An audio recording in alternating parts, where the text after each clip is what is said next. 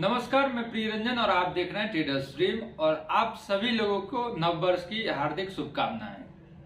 आज के इस एपिसोड में हम डिस्कस करने वाले हैं एनबीसीसी स्टॉक के बारे में। इस स्टॉक को डिस्कस करने का कुछ मुख्य वजह है, कुछ ब्रेकिंग न्यूज़ है, जिससे कि इस स्टॉक का टारगेट और स्टॉप लॉस को शॉर्ट टू मीडियम टर्म में जानने की कोशिश करेंगे। और पहली बार मैं आपको खुले चैलेंज दे सकता हूँ कि इस बार ये स्टॉक श्योरली सत्तर के ऊपर के प्राइस पे ट्रेड होते हुए दिखेगा। आइए डिस्कस करते हैं और जानते हैं कि क्या ये कारण है, किन वजहों से इस स्टॉक का, जो कि हमेशा से एक नैरो रेंज के प्राइस के बीच ही ट्रेड होते हुए दिखा है, लेकिन इस टाइम मैं आपको क्यों चैलेंज कर रहा हूँ कि ये स्टॉक सत्तर के ऊपर ट्रेड होगा, इस एपिसोड में लास्ट तक ज़रूर बने रहे। इस स्टॉक को लेकर के फ़र्स्ट जनवरी 2022 को ये ब्रेकिंग न्यूज़ आया कि तीन करोड़ वर्थ का जो है न्यू ऑर्डर इस कंपनी को रिसीव हुआ है।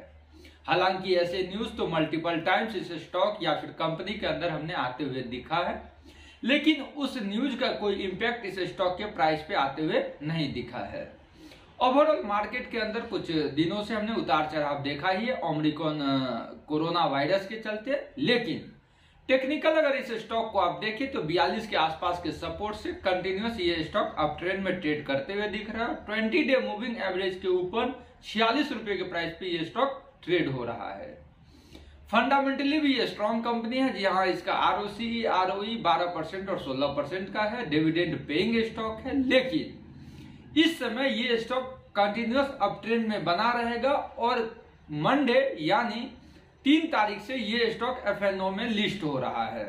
शायद आपको याद हो पास्ट के सेशन में हमने देखा कि इंडिया मार्ट और आईएक्स जैसे शेयरों में कंटिन्यूस गिरावट या फिर कॉन्सिलिडेट के बाद जब वो एफएनओ में लिस्टेड हुआ, उसके बाद एक शानदार तेज़ी दिखी और आईएक्स में तो डबल से ज़्यादा का प्राइस की अब ट्रेंड हमको देखने को मिला।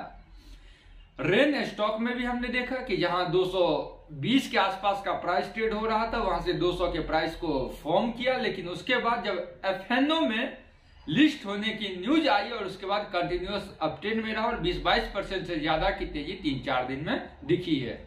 Same as like diet NBCC के स्टॉक में भी आपको शानदार तेज़ी दिखेगा। इस समय ये 100 परसेंट मैं श्योर हूँ कि 70 के ऊपर के प्राइस पे ये स्टॉक अगले तीन महीने में ज़रूर ट्रेड होते हुए दिखेगा। इसलिए इस अपट्रेंड में इस स्टॉक को बेचने की गलती बिल्कुल नहीं करे। दस दिन आप वेट करें, आपको ये पता चल जाएगा कि किस प्रकार से इस स्टॉक के अंदर तेज़ी देखने को मिला है।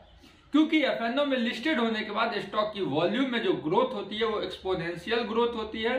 तो मुझे पूरा उम्मीद है कि इस स्टॉक के अंदर काफ़ी तेज़ी देखने को ज़रूर मिलेगा। नमस्कार।